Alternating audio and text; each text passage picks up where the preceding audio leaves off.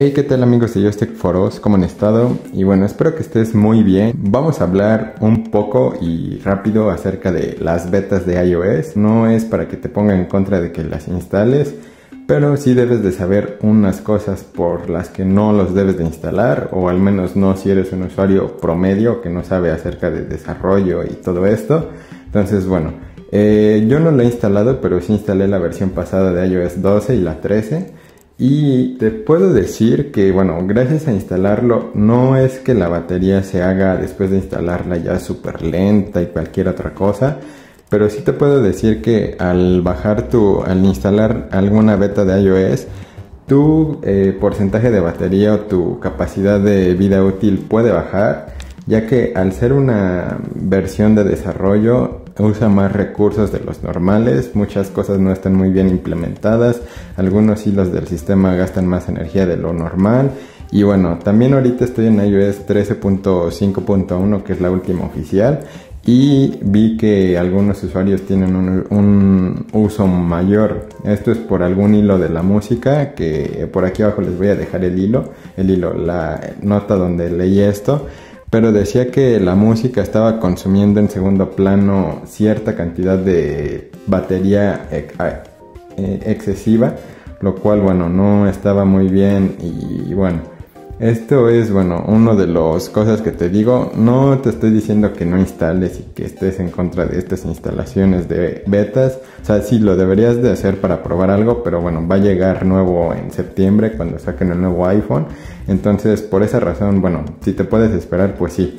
Eh, y bueno, aquí ahorita, bueno, saben que yo tengo este porcentaje de batería. Les digo, no he instalado nada, ninguna beta pero sí te puede disminuir el uso ya que tiene mayor eh, consumo de batería. Otra de las cosas por las que no debes de instalar betas o por lo que yo te recomiendo no hacerlo es los respaldos. En iOS los respaldos se controlan a través de versiones.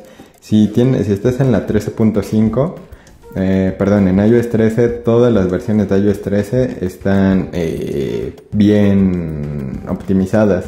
Si compras un teléfono anterior o haces un downgrade a iOS 12 u 11, me parece que pues no tienen ese como control de versiones y eso hace que se pierda. Eh, entonces, bueno, si tú vives de tus respaldos, eh, que en tu respaldo está tu vida y no puedes hacer nada más y se te pierde, entonces, bueno, si instalas iOS 14 o cualquier otra beta después de esto, eh, esos respaldos ya no se pueden ahora sí que como decodificar. Bueno, sí son visibles, pero no puede restaurarlos en una versión anterior. Me imagino que es porque es beta y bajas de una beta a una estable. Entonces es por eso que no, no te recomiendo hacerlo. Bueno, yo he visto que algunas aplicaciones ya no las descarga o ya no las puede como que leer el respaldo de iCloud de las aplicaciones y es por eso que no tienes estas, eh, el mismo respaldo.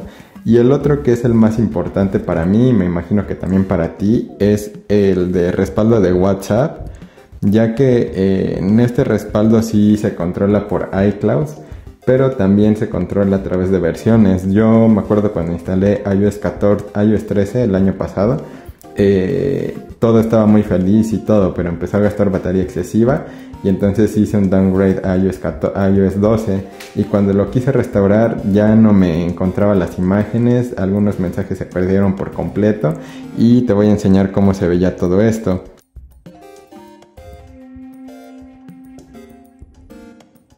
Por ejemplo, aquí tengo una conversación de WhatsApp y podemos ver que todo esto sí estaba funcionando, las fotos, etcétera pero cuando instalé la versión de iOS 13, ahí se hizo un como respaldo en iCloud y todo se cifró en esa versión. Entonces, cuando hice el downgrade a iOS 12 en ese tiempo, que fue el año pasado, pueden ver que las fotos sí las está como que identificando, pero no las puede como que volver a eh, recuperar, ya que me, que me imagino que las cifró en esa versión.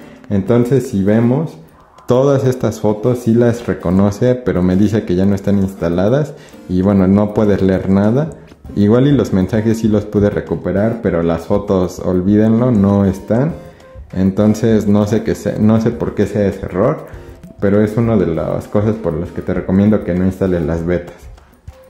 Y bien, también otro de los errores que he tenido, más cuando instalé, ese sí, el iOS, este, macOS Big Sur, ese sí lo instalé hace unos días en mi Mac, en mi MacBook, y te puedo decir que el,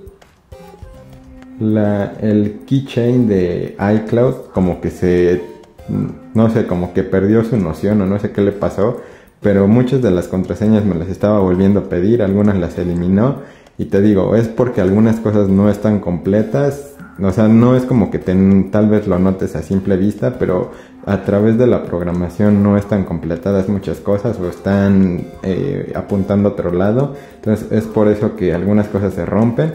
Y bueno, yo también vivo del, del keychain de, del iCloud. Entonces bueno, ahorita tuve unos conflictos con eso. Ya pude recuperar las contraseñas que tuve. Pero como me eliminó todo del, la, todas las contraseñas de aquí, todos mis dispositivos dejaron de reconocer algunas redes, algunas contraseñas. Entonces eso hace que pues tuve que volverlas a poner o ver qué es lo que estaba pasando. Entonces bueno, ese es otro de los inconvenientes. Igual, bueno, eh, hay otras cosas que, por ejemplo, AirDrop a veces no funciona entre dispositivos eh, y es por lo mismo. Y en el Apple Watch, bueno, no he tenido ningún problema alguno, pero pues sí es, eso ha sido. Entonces, bueno, por estas razones te recomiendo que no instales ninguna beta, más si, bueno, eres un usuario que no sabe mucho de cosas técnicas del sistema. Si, bueno, ya sabes un poco más de todo esto, pues sí te recomiendo, ya lo has hecho otras veces, pues hazlo adelante, ya sabes cómo funcionan algunas cosas. Pero pues cualquier cosa que no te funcione o algo, pues haces tu restauración a través de, bueno, de macOS o de iTunes en Windows y ya está tu teléfono como nuevo.